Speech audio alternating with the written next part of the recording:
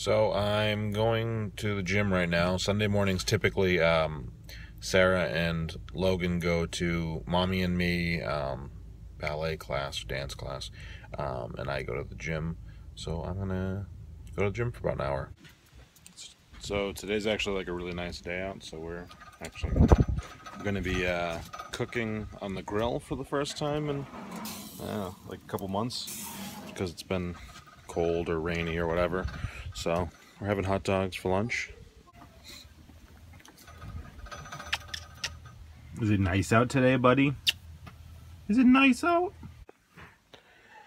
Uh, so Sunday nights tend to be a um, homework night. Um, I have till January 8th until I am done with uh, my master's degree in creative writing.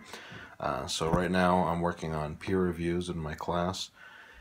So I got to read someone's short story or chapters from their book and work on it. Um, and then obviously next week would be more original writing my own. Um,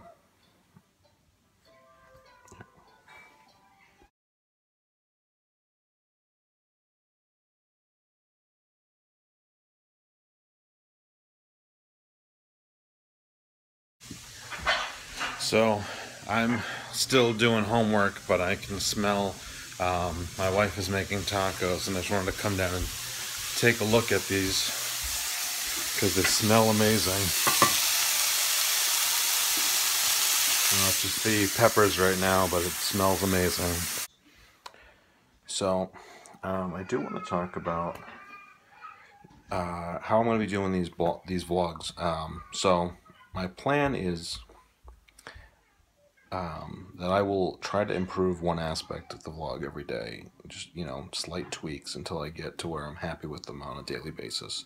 So that first day, um, that first vlog two days ago was was one continuous shot. I was very distraught, and so therefore it was, you know, one clean shot, or one shot, whether it was clean or not, uh, and I just uploaded it.